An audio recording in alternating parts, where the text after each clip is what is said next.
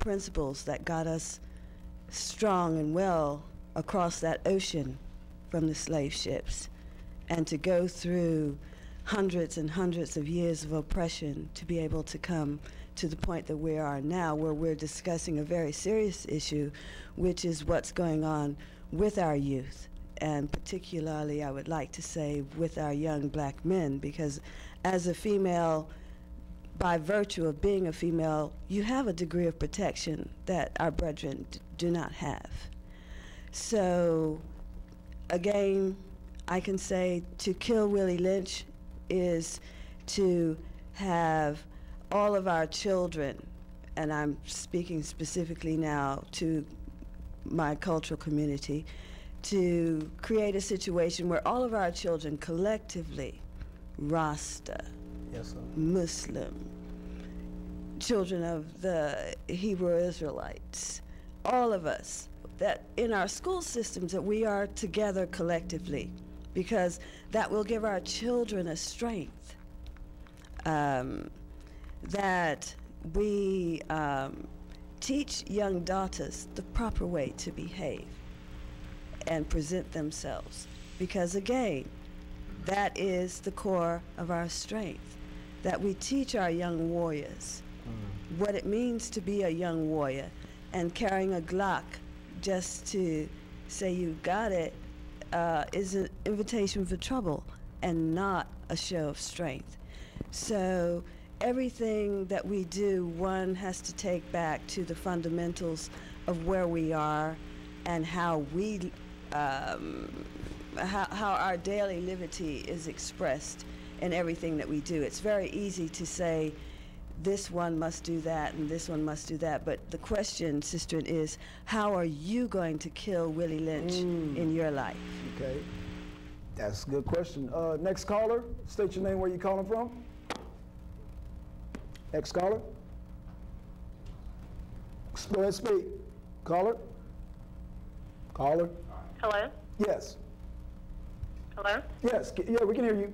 Okay, hi. I just wanted to make a comment. I'm enjoying the conversation that you all are having. Um, I think the main thing that we need to do is to teach our young people value. That's and right. by that, I mean to value themselves. And if you value yourself, you'll value those that you come into contact with. Who is self? You'll value those um, just all around you. And and I'm in the school system, and one thing that I heard a student say just Friday, and it really upset me, was that he said that life is a game. He said it's all a game anyway. And to hear a young man think that his existence is playtime just disheartens me. That's all I can say. So, I mean, it's just about teaching young people to value themselves because if you love yourself, you won't want to harm anyone that's around you. So uh, that's just my comment, but good discussion. Okay. I'm gonna pass another to. Okay. Next caller, state your name, where you calling from. Hello? Yeah. We ain't address her question. Are are we gonna address her question? Hold on, caller. Are we gonna Oh, address oh, her oh, hold on, question? but Jay, we got to go around. We see one thing we got to learn as a, but hold on, hold on. but it's a- one thing we got to learn as a council, though.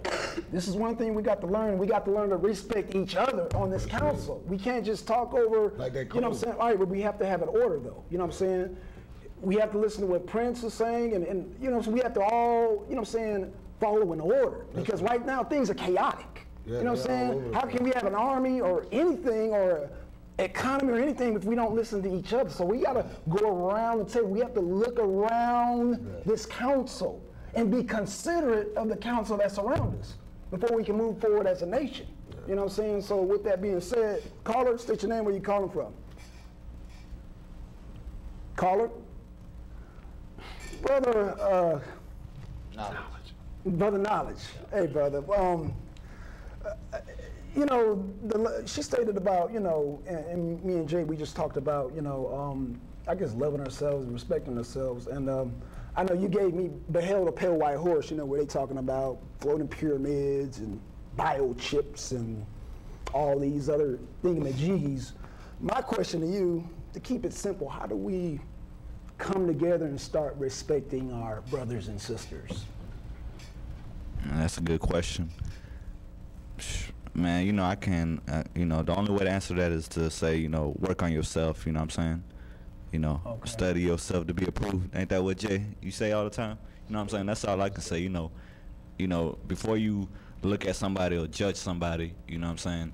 Look at yourself first. You know what I'm saying? Say, am I like that person? Am I better than that person? Am I, you know what I'm saying, lower than that person? You know what I'm saying? Mm-hmm. But, you know, you got to have a standard for yourself first. You know what I'm saying? Right. make a standard and then see if anybody else is living to that standard. You know what I'm saying? If if I choose not to lie, you know what I'm saying? I want the person, anybody I'm talking to, not to lie to me. You know what I'm saying? That's right. So you know, first you got to build a standard for yourself. You know what I'm saying? Okay. You know, check off things you need to work on. You know what I mean? And try to work on them. So when you do run into a person, you know, a human being, somebody else, you know what I'm saying? You probably never know. You know what I'm saying? you gotta, you know, give them an opportunity to work, for, you know what I'm saying, work they, they problems out, you know what I'm saying? You can't be quick to judge. Give everybody time and opportunity, you know what I'm saying, to work That's and right. uh, prove themselves, you know what I'm saying? But first and foremost, you know, work on yourself, you know what I'm saying? That's all I had to say. All right. Caller, state your name, where you calling from? Caller? Caller?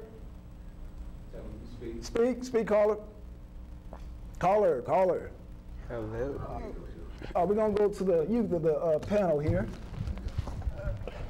Um, Pastor, oh, he's, oh, never, you guys mic. He wired up. From everything that everybody has discussed here, you know, we, we talked about gangs, you know, culture, music, you know, coming together, you know. Um, I want to hear from you because, you know, I met some young gang members because they, they getting younger and younger, you know what I'm saying? And, you know, brothers say that Jay said there's not a war going on, but according to the rap music, um, they beg to differ, you know. I mean, Jay is just one man, but you got a whole industry with Jay Z reaching millions and trillions of youth like yourself. My question to you, brother, is, you know, I just want you to ask, ask this honestly, possibly. Do you feel that there's a war going on within our people or within on the black youth? As far as uh, oh, brother Angelo. Angelo. Yeah, You know, if uh, there's a hardship on, oh, their pants are sagging, you know, they're smoking weed and blunts. You feel like there's a, like there's a war going on in the youth, or what's your opinion? Uh, I wouldn't probably call it a war, but I would probably call it like a a beef. A or beef, okay. A beef or a misunderstanding Okay. with each other.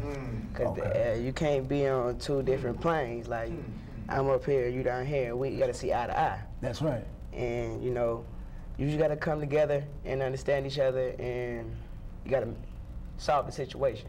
Okay, okay, okay. So um, that's that's that's, that's words of wisdom there. Words of wisdom. Got any any more callers? Okay, one caller. Caller, state your name. Where you coming from? Um, calling from. I'm sorry. Hi, this is Megan calling from Lithonia. Lithonia. Oh, okay. Yeah, um, I just started tuning into the show, so I don't really know what you're talking about.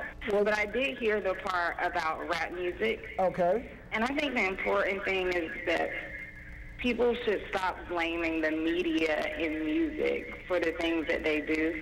Okay. Those things are always going to be there, but I think it comes down to the household and how you're being raised. Hey, turn your and if you are a person Getting the feedback. Turn it just down a little bit. Oh. Okay. Thank you.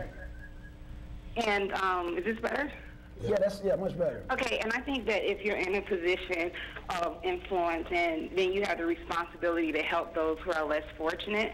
So we need to have more mentors out in the community and more people being um, committed to raising their children the right way.